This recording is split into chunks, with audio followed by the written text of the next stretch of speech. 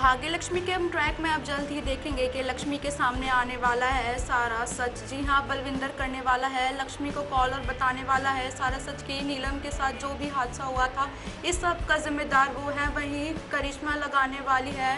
लक्ष्मी पर घिनौना इल्ज़ाम और नीलम के हादसे का जिम्मेदार अब वो लक्ष्मी को ठहराने वाली है। अब वहीं देखना काफ़ी दिलचस्प होगा कि कैसे लक्ष्मी कर पाएगी अपने आप को निर्दोष साबित। क्या इस इल्ज़ाम से क्या लक्ष्मी और ऋषि के बीच आ जाएँगी दूरियाँ? अब देखना काफ़ी दिलचस्प होगा कि क्या होगा आगे आने वाली कहानी में। हम तो काफ़ी ज़्यादा एक्साइटेड हैं इस एपिसोड को देखने के लिए। आप कितने एक्साइटेड हैं? कमेंट करके ज़रूर बताएँ।